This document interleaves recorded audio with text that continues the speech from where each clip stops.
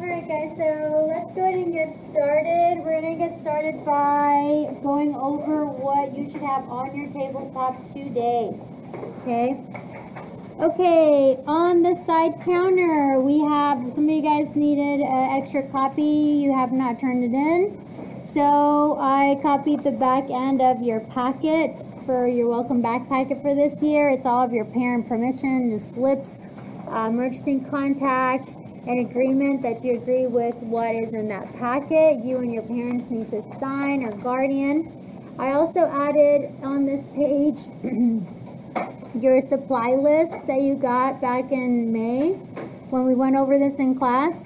Um, the items that we for sure, for sure will be needing soon, like Thursday, um, these should already be in your kit, but if they're not, get them here by Thursday. I know I sent you a remind Saturday, Sunday, I can't remember what it was, uh, but I sent you a remind about it this weekend.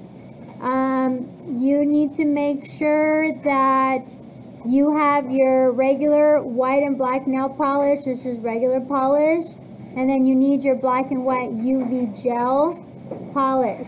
Now when you go to the dollar store and you see a polish that says gel polish, make sure it's the correct one because not all the ones that say gel polish are true gel polish. A gel or UV, a UV gel or, or polish is cured with a UV or LED light. Okay, it does not dry without going in the light. Okay, so you need to make sure to have those things. Okay, all right. For Thursday, we start this Thursday. You need your light to have battery. I also sent you a message about that. I deleted last year's remind, so now I only have this year's remind. So if you're not signed up for that one, you need to get signed up. Okay, so with your light, you might have a green or a pink one or a blue one, but you can push this down, okay? And you're gonna twist the top. You're gonna twist the top off. And this comes out. This is the casing for the batteries. It's three, I believe it's AAA. Okay, if it doesn't work, your batteries are probably the wrong direction. Okay, so this needs to be loaded and ready to go by Thursday. Okay, don't take the, the batteries from the remote at home. But if you do, make sure that you take them back home that same day so your family doesn't get mad. Okay? This needs to have batteries in it. Your nail drill we won't be using till later, but if you want to go ahead and put batteries in it, you can, or just bring them. Okay? I did send you a reminder about that. Okay. You will also be needing your clear coat of gel and your black gel for liner. We're going to start transfers on Thursday. Okay, so today we're doing color wheel and learning how to polish. Transfers on Thursday and Friday. Um, transfers. You have three transfers you picked up from the back counter. You have these transfers that are char character transfers. Okay, learning how to do faces. You also have the stencils. These are the transfers we're going to create the design on the paper and then we're going to move it to the nail. And then you have your Halloween transfers. Okay. Now, I know it's early for Halloween. I get it. But a nail technician or nail artist will always start preparing two months, at least two months ahead of the holiday schedule. So, Halloween is a moneymaker for nail techs because everybody wants to cute ghosts and spider web and they want all the things, right? So, not everybody, but a lot of people. So that's a big money making month for you as a nail artist, okay? But you need to start two months ahead in pre preparation for that, okay? So in, in August, you start looking at designs, you start practicing, you start making your, um, making all of your different nail palettes, making your samples. So that way, doing it all, all this stuff, so that way, whenever September comes, you can start promoting yourself, not too crazy much, but start throwing out there some designs on social media, start marketing your designs, start telling people about it, finish making and perfecting your, your samples. And then in October, people will get their nails done like towards the end of last week of September, some beginning of October. Then they'll start calling you, hey, I saw can I saw your nails, I like these. Hey, do you have an appointment? Hey, can I book? Hey, will you do my nails? That will happen end of September, beginning of October. Hopefully through the month of October. But if you start planning in October, girl, you are far behind. The person, the clients have already seen somebody else's work. They have already booked with somebody else. You, you are not getting any of that money. Which at the end of the day, that is your goal to get paid for what art you put out, right?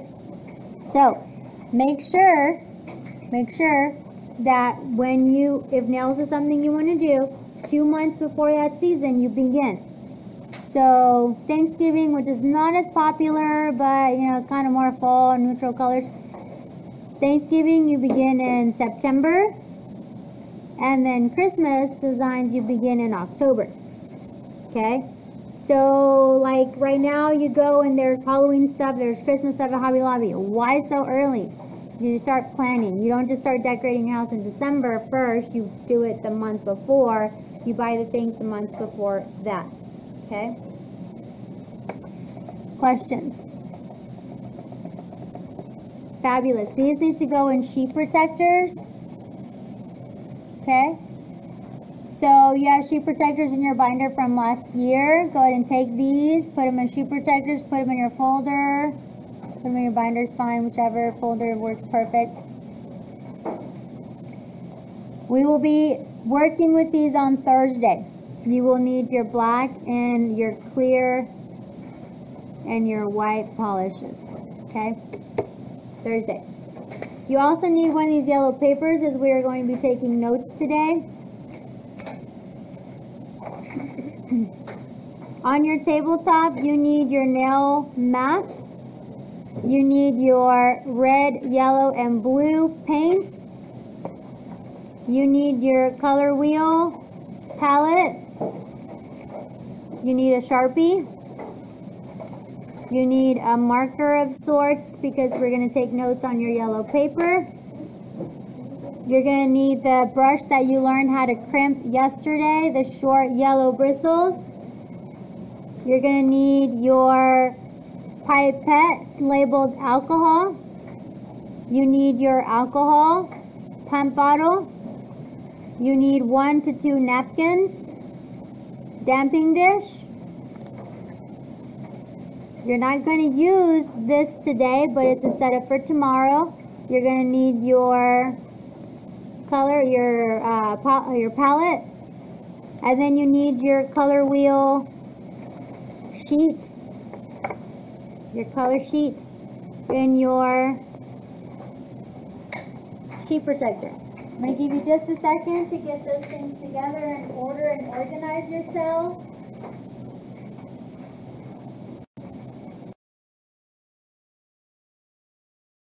Okay, now that you have all the things, let's go ahead and get started.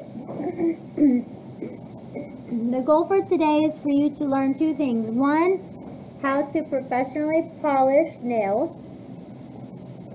In other words, why should she come pay you to polish her nails when she can do it at home? What's the difference? And two is to learn the color wheel, how to blend your colors together. Okay? It's a two-day thing. Work two-day workshop is today and tomorrow. We're going to start with some notes. So if you'll take your yellow paper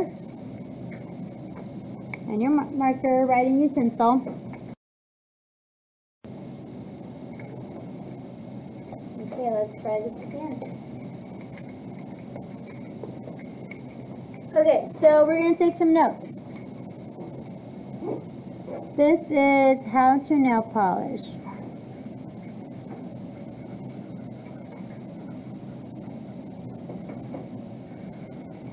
We're going to learn how to nail polish using the three-stroke technique.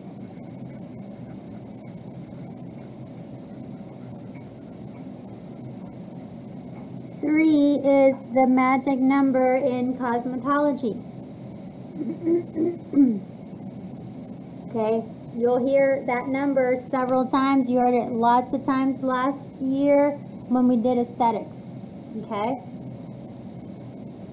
All right, we're going to draw a nail as if the, we're holding the client's hand.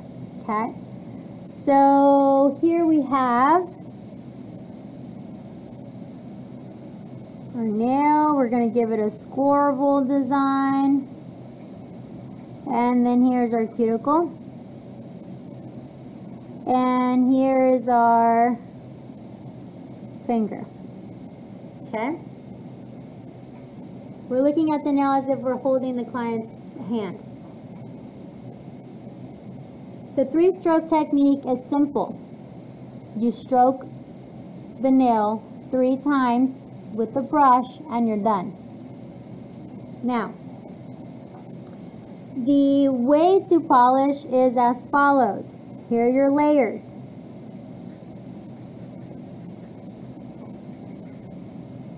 Okay, your first layer is going to be base coat. Your base coat is a protective layer or a barrier. So that way the colored polish does not damage your natural nail. Back in the day, polishes were made with different ingredients and over time it would stain your nails yellow should you have left it on for a while. They don't now, they don't make them that way now with all the bad ingredients, but they put that base coat to protect your nail.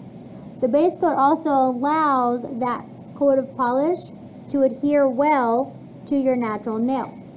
Okay, that's the base coat. If you have ridges or bumps or something on your natural nail, that base coat helps fill in those those dips, those divots, those gaps, so that the top, the, the following top layers are smooth. So the base coat's important, okay? Then you have a coat of color first coat of color. And then you have a second coat of color. Always, unless if you buy the really expensive nail polish that's really good, that it's made really well, that needs only one coat because it's very concentrated in pigment. But typically you need two coats of color. Now, you need to make sure that the first layer dries before you put the second layer before the third because if not, the top layer is going to dry but it's mushy on the inside. Then the client goes to grab her keys and messes up her nails. Oh, you got to go fix it. And they don't want to pay for it and you don't have time. Okay? Got to let each layer dry. So, the first coat of color, a lot of people always make the mistake of they, they'll paint the nail and they want to see, they want to see this red like they want to see this color on the nail. They want an immediate application of color. It is not an immediate deposit of color. It's not. The first layer should be thin. It should be transparent. It should be a little bit of product. Okay? You should still be able to see the natural nail through the first layer. Your second coat of color, your second coat of polish, should be your final. Then that's when you'll start seeing this color. Okay? The first one is like your primer. After your color, then you're going to have your top coat. The base coat and the top coat, those are both clear. Your top coat, is there someone at the door? I thought I heard something. I'm sorry. The top coat the top coat, thank you, love. The top coat is going to be the, the protective layer. One, it's going to give shine. Two, it's going to smooth the polish over. Three, it's going to help seal anything that's underneath. And the top coat can be shimmer, can be shiny, can be matte, all of the things. Okay? But those are the four layers. Okay? Okay. Questions on that. When you go take your test senior year during state board, this way. Okay, this, this, this, these layers.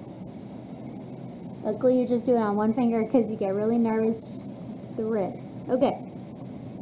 Now, let's look at how we apply. You have your brush. Remember last year we talked about face painting and brushes and strokes and all of that? Okay? I know Rebecca's, y'all are in class doing this right now. You put the brush down, the brush is this wide. You push the brush down the paper and it does this, it fans out. So you have a wider wingspan. Okay. With the three stroke technique, that is just that. You take the brush, you put it in the middle, you push it down, the wings open, and you strike down. Then you either go to the right or the left, it doesn't matter. Go to the one side and strike down, opposite side strike down, and you're done. That's it. No mas.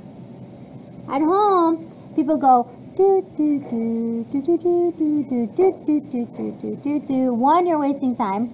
Okay. Two, that grandma does that. Why do you, a professional, do that? Why is she going to pay you money for something that she can do at home herself? So let's put it this way. Let's pretend all of you guys are graduating now and you have all your nail stuff together and you're going to go apply a nail salon. You're in competition with each other to get that position at that job. Okay? Really, you're in competition with everyone else in the world trying to get a position with that job. Why should they pick you? What makes Evelyn different and better than anybody else in, that applies for that position? Why should I, the manager, choose her? Because they're all great, but what makes her different? So you gotta think of it that way with your clients. I'm gonna see all of y'all's Instagram pictures, posts on your nails. And I have all of you as options of who to go to me, the customer, what would make me pick Evelyn over Heavenly, over Lexi, over any of you guys, over anybody else, any other salon? Right? Professionalism, cleanliness, super important, and customer service. Okay? Super, super important. So, if you're going to sit down somewhere and they're going to polish, polish, polish, polish, polish, well, if Lexi does a three-stroke technique, it's nice, it's done, it's fast, it's, I'm going to go to her because she's better. But she also has to have the cleanliness and the professionalism and the customer service, right? So, three-stroke technique, which you also do at state board, okay? So, here we go. You're going to go start in the middle, and you're going to come down. That's your first stroke. Now you can go to the right or you can go to the left first. It does not matter. Sides doesn't matter. I'm going to do it like you read a book. It's easier. So I'm going to go to my left, strike down. That's my second stroke. And then I'm going to go to the right, strike down. That's my third stroke. Now, the reason why people will take their brush and polish, polish, polish, polish, polish is because on this first coat of color, they have so much product on that brush. The product, a nail does not absorb.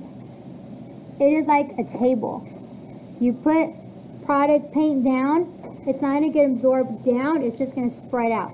If you have too much product on your brush, you're just spreading the polish over the top of the nail. It's not settling down. So you're going to get streaks, and I'm going to show you in a minute how that happens.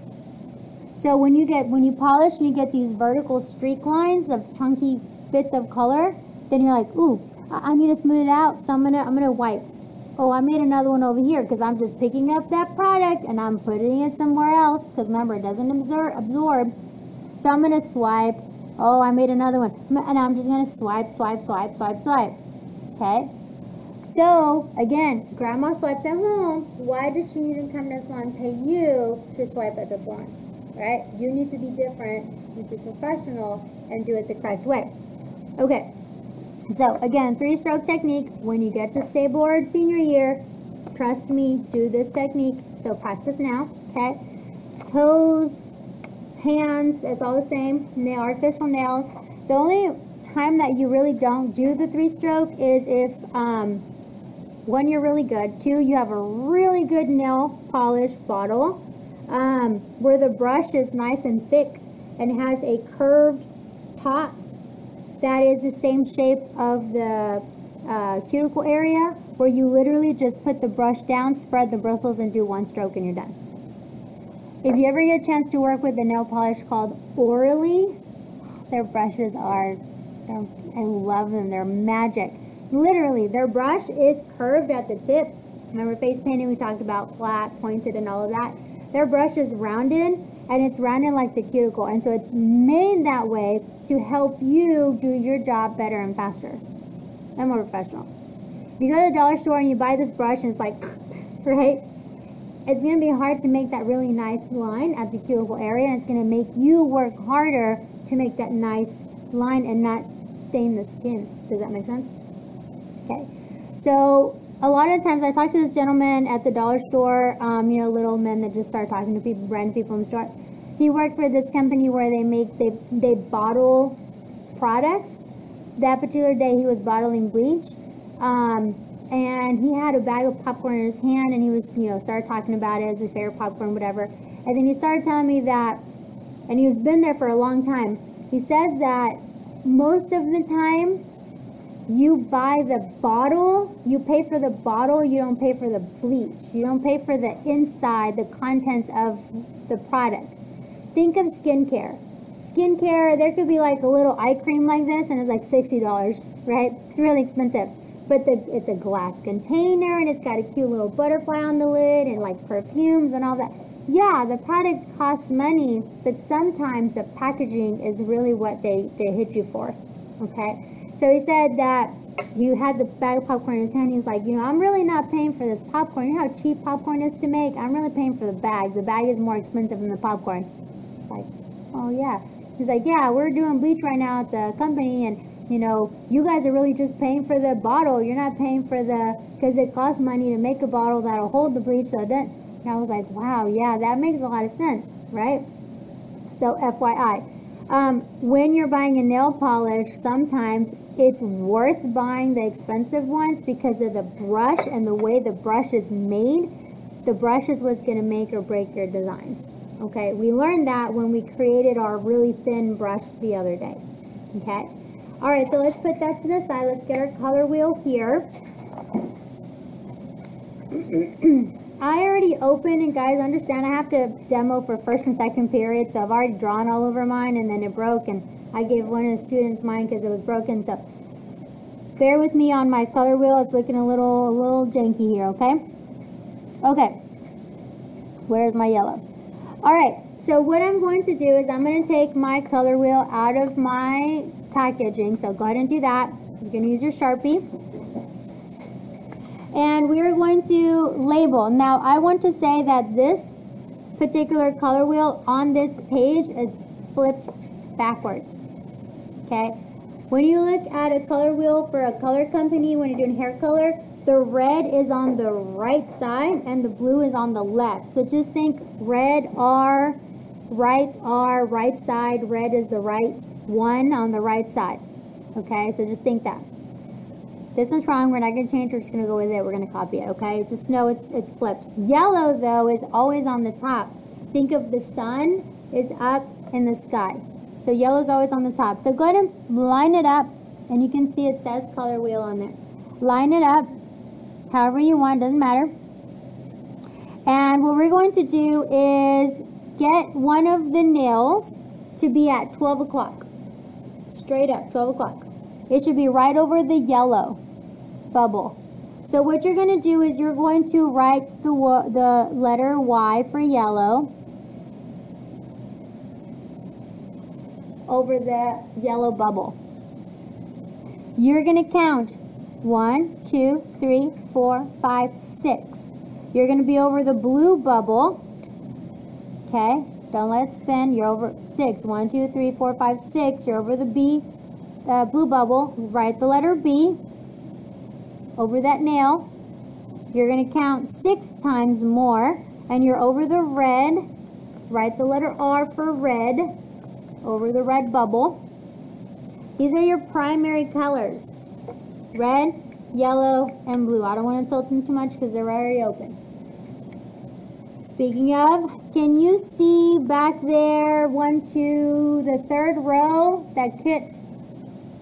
Do you see the little these little containers of paint? You can see the back of the yellow and the front of uh you can see the lid of one of them. These spill out. Like you can close them all day long, but they spill out. Every year somebody spills out. The other day I asked you to put them in a zip baggie and to store them like this in your kit for a reason. Because they spill out. So hers come tomorrow. Okay?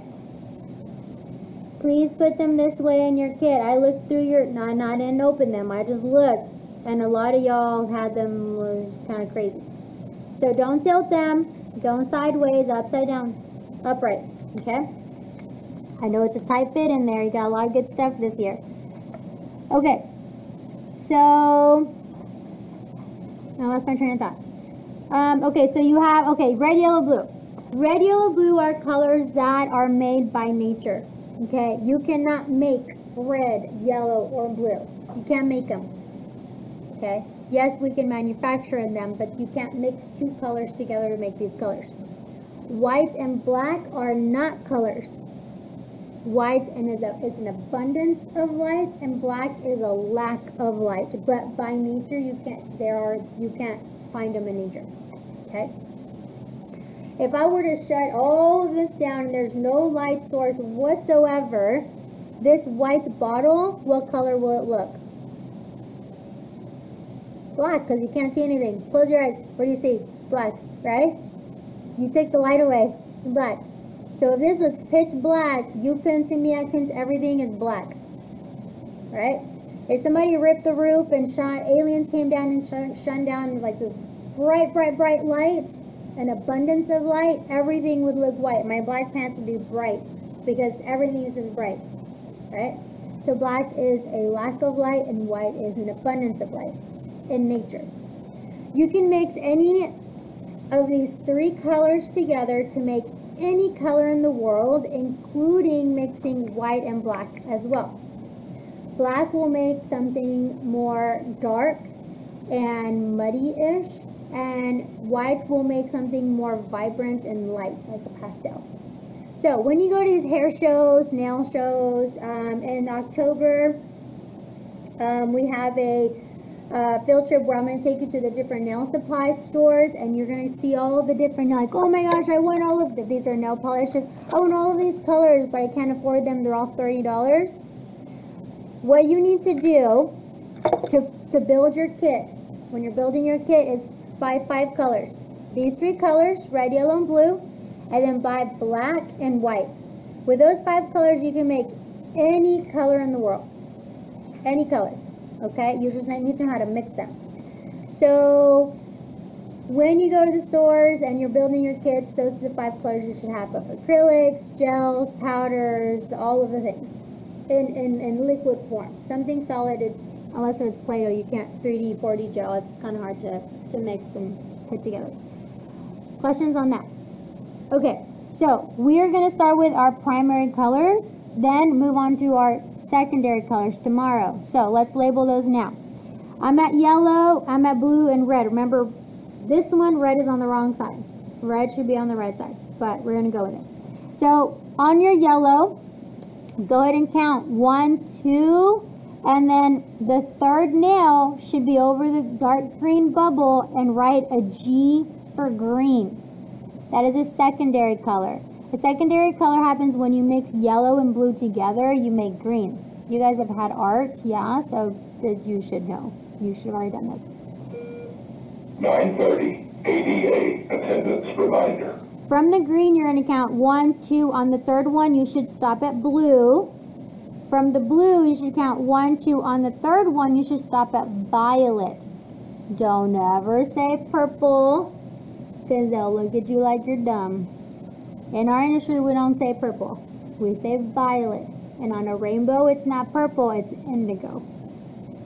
We're just fancy, okay? Just don't say that. Trust me, I'm speaking from experience. So violet is over that dark, darker violet color. You're going to count once. Mine's missing two. On the third one, you're at red. Count one, two. On the third one, you're right over the orange. So right over orange. One, two, and you're back at yellow. Okay?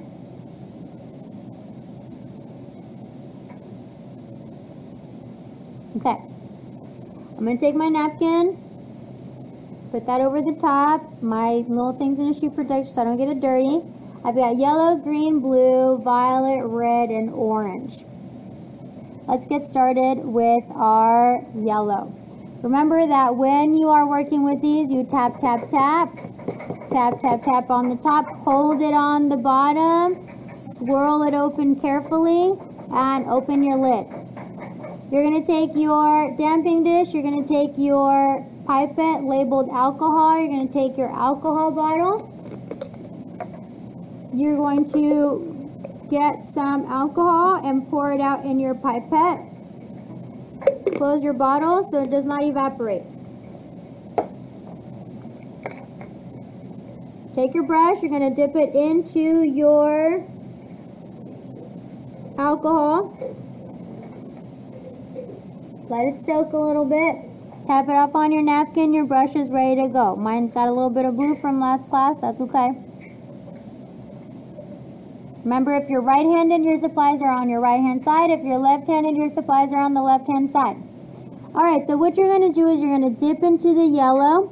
Yesterday, you learned how to crimp this brush and you crimped it. You have a top and a bottom side to the brush. Dip your brush in, let it soak up the paint. Wipe one side on the inside corner, inside corner of your container. Now, if you didn't use your yellow yesterday and you had to open it and mix it, make sure to mix it well using the back end of the brush. Circle, rotate, and then fold over to mix the ingredients of your paint. I can't remember what color we used yesterday. Yellow? Oh, red. Gotcha. So then you need to prep your prep your paint. First time you use it, always mix it. Wipe the back of your brush once you're ready. Then you've mixed it. Remember to start, keep working on the inside corner of your paint. Now look at mine. I kept it upright. I wiped it and look, it's still seeped out. I'm telling you, these paints seep out. Okay, so keep your paints upright. All right, so when you're ready, you're gonna wipe the one side. I'm gonna I'm gonna do it wrong so I can show you. I'm going to wipe one side. I have way too much paint on one side of my brush. On my back side, I don't have any. And on my top side, I do. Alright, so we're going to take our palette and we're going to hold it like we're holding the client's finger. The nail tip is pointing to our belly. My pinky is going to rest on the table. It's going to kiss the table for stability. Okay? I'm going to come to the middle. I'm going to go push down I'm going to spread my wings. I'm going to wipe down. I can already see I've got two chunks of, of uh, color on the right and the left because I use way too much. I know it's hard to see on the screen. See if there with the shadow. Then I'm going to go to the left. I'm going to push down, open, swipe down.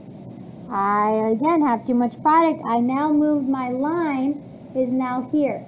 My chunky line of product. I'm going to go to the right. I'm going to push down and swipe. Too much product. I now move my line to the middle right here.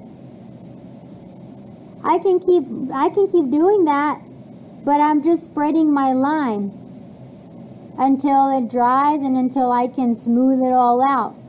But there's still lines on there. So grandma does that. Grandma does swipe, swipe, swipe, swipe, swipe. Your first time, you're going to mess it up. That's just how it is, right? Babies don't just get up and start running and jumping, right? They first roll around, they crawl, they fall down, and they get up and do again, then they're running. I don't think we would have babies if that was that case, okay? All right. So that's your first layer, okay? Your second layer, I'm going to talk a little bit to give it a second to dry. Your second layer is going to be a little bit darker. Now remember your first coat of color is just a deposit of color. Just a slight deposit of color. You should still be able to see through it. You should still be able to see the natural nail. Okay. Let that dry for a little bit. When you do the pinky, by the time you get to the other pinky, the first pinky is ready. So let's go and go back. We're going to dip in. We're gonna wipe one side. If I have too much product on my brush, I'm just gonna wipe some of that off. I'm gonna come in down the middle. I'm gonna wipe the middle. Come into the right or the left. I'm gonna wipe. Come into the right or left. I'm gonna wipe. Okay. Now I think it's hard to see, but you can kind of see this chunk here in the middle. I had a lot of product. I wiped the left and I created a line. I wiped the right and I created a line. You will always create a line in the middle when you're done if you have too much product in your brush.